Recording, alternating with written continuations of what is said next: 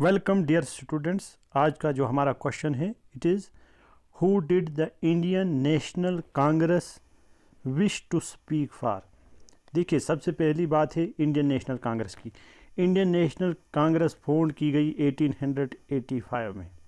और इसका फाउंडर जो था, वो था ए ओ ह्यूम उस वक़्त जो हमारे यहाँ वाइस राय थे, ब्रिटिश वाइस राय जो थे, वो थे लॉर्ड डफरिन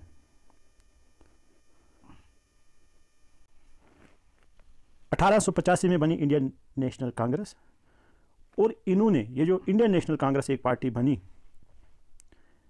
ये किसके लिए बोलना चाहती थी? किस सेक्शन ऑफ़ सोसाइटी की बात करना चाहती थी? क्योंकि हिंदुस्तान में डाइवर्सिटी थी और आज भी डाइवर्सिटी है। अलग अलग मज़हबों के मानने वाले लोग अलग अलग कल्चर वाले लोग। एक सीधा साधा सवाल है और हम लोग इसका एक आसान सा जवाब लिखते हैं। The Indian National Congress comprised of representatives from all sections of the society. जो इंडियन नेशनल कांग्रेस थी, ये जो एक पार्टी बनी थी अठारह सौ पचासी में, इसमें हर सेक्शन से, समाज के हर तक, तबके से, हर मज़हब से लोग इस पार्टी में जुड़े थे। देयर फोर इट विश्ड इसलिए ये पार्टी जो थी, ये क्या चाहती थी?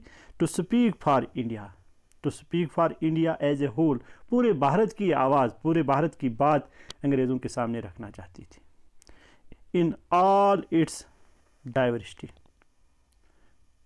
बिला किसी मज़हब, रंग व मिलत के, ये हर एक आदमी की, आम नागरिक जो भी भारत का था, कोई इरेस्पेक्टिव ऑफ़ रिलीजन और कल्चर और कास्ट ये सबों की बात अंग्रेज़ों के सामने रखना चाहती थी कि भारतीय लोग क्या चाहते हैं।